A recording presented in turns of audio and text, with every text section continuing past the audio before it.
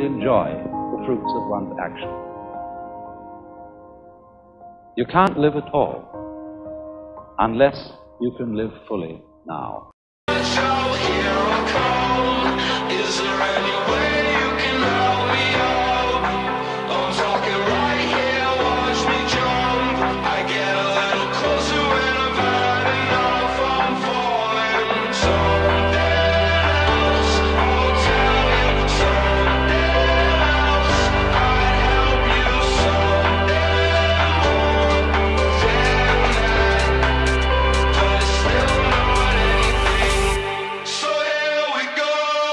yeah, yeah.